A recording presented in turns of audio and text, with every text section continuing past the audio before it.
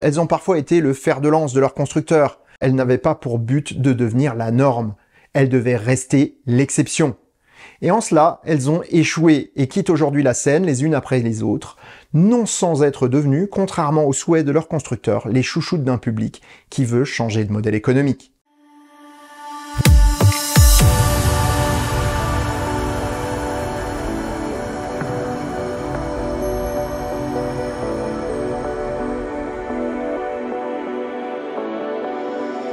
Si ça te plaît, mets un pouce vers le haut et commente. Si ça te plaît beaucoup, abonne-toi. Et si ça te plaît vraiment beaucoup, dis-le partout. Merci. Voir l'avenir et le faire connaître est une chose bigrement compliquée et les constructeurs automobiles le savent bien. Depuis les années 90, pourtant, ils se rendent compte qu'un vent d'innovation et de changement arrive. Constructeurs, amateurs ou entreprises sans lien direct avec l'automobile présentent à tour de bras des concept cars voulus comme des chimères à long terme des voitures électriques. L'impact chez General Motors devient l'expérimentation EV1. TEPCO au Japon présente ISA qui n'aura pas de descendance. Et un petit groupe d'ingénieurs enflamme le web naissant avec des vidéos en basse résolution de sa T0, petit roadster sportif électrique. Certains projets restent secrets comme la Corvette Motorola dont je vous ai parlé il y a quelques jours. Pourtant, des dirigeants flairent l'odeur des bénéfices et décident de construire un modèle économique basé sur la location de batteries. Le système ZE naît alors chez Renault, mais aussi chez Nissan, même s'il porte pas le même nom. C'est la Nissan Leaf qui ouvre le bal de cette revue de nos chers disparus. Enfin, futurs disparus. Berline compacte extrêmement bien construite pour l'époque, la Leaf évolue tout au long de sa carrière. De 24 kWh, sa capacité de batterie a évolué jusqu'à 62 kWh aujourd'hui. Pratique et de bonne facture, c'est une auto certes chère au départ, mais si agréable et bien faite qu'elle a rencontré un succès mondial. Elle a pourtant des tares qui n'ont jamais été résolues, comme son connecteur CHAdeMO tombé en désuétude ou la gestion thermique calamiteuse de sa batterie. La Leaf tirera sa révérence fin 2023 pour être peut-être remplacée par un coupé SUV basé sur la plateforme de la E-Tech. Cette auto reprendra le nom, mais en aucun cas l'ADN de la Leaf d'origine. Seconde future disparue de l'alliance Renault-Nissan, la Zoé tirera elle aussi sa révérence, mais seulement en 2024, laissant la place à la R5 électrique. Iconique de toute une génération d'électromobilistes en France, la Zoé a partagé une partie de sa technologie avec les nouvelles plateformes Renault-Nissan, comme le moteur à rotor bobiné, incluant le chargeur. Vendue à plus de 100 000 exemplaires en 2020, la Zoé était un énorme succès commercial et a démontré que tenter de leurrer les clients par des solutions empêchant le libre choix et la libre concurrence, est bien moins juteux que de construire et vendre honnêtement un bon produit.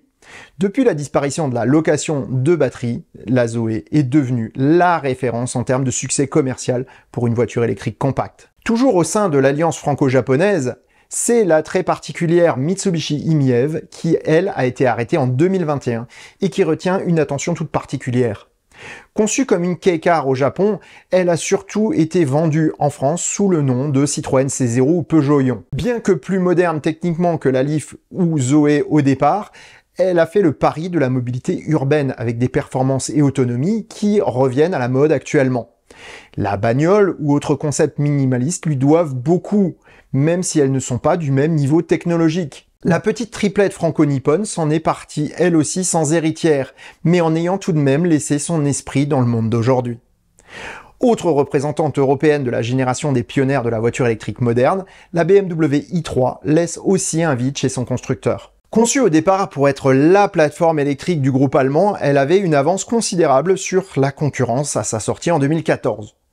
Déjà dotée de tout ce qui fait une bonne voiture électrique, la petite BMW a pourtant secoué son constructeur au point de créer bien des remous dans sa direction. Direction qui a du coup changé d'optique. Cette année, la petite pionnière s'en va sans relève, remplacée par une plateforme multi-énergie qui contraste avec l'excellence technologique dont les i3 pouvaient se vanter. Ces plateformes à tout faire ont pourtant déjà montré leurs limites avec la ICMP chez Stellantis ou les E3 de Toyota, qui en plus de démontrer un rapport prix-prestation fortement défavorable, donnent une image biaisée des avancées de la mobilité électrique d'aujourd'hui, qui est bien meilleure que ce que proposent ces plateformes. Revenir vers de telles plateformes est un recul technologique étonnant pour BMW. À croire que la passion de l'excellence ne fait plus partie de leur cahier des charges. Au revoir i3, tu vas nous manquer. Avec cette autre auto retirée du catalogue cette année, c'est toute une communauté qui est en deuil. La Hyundai Ioniq s'en va en effet sans laisser elle non plus d'héritière. Voulue voiture efficiente et abordable, elle laisse la place à une gamme électrique de nouvelle génération qui devra faire ses preuves. La Ioniq 5 est certes relativement abordable, mais son efficience est loin d'être au niveau de la première Ioniq. Efficience et sobriété ont été sacrifiées sur l'autel de la mode, de la charge rapide et d'une certaine idée du confort. Pesante, elle troque sa sobriété et sa vivacité contre un style plus affirmé et une plateforme SUV. Pour l'efficience, il faudra se tourner vers la Ioniq 6, onéreuse et au dessin euh, particulier.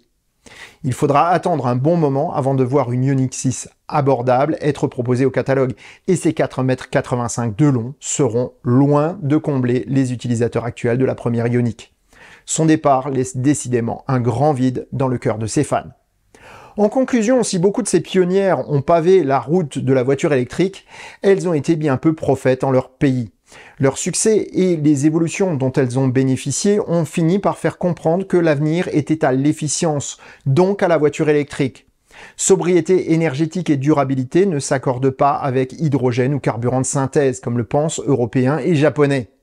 Il est juste dommage que ce soit les Américains et les Chinois qui construiront nos voitures de demain grâce à leur clairvoyance sur le sujet.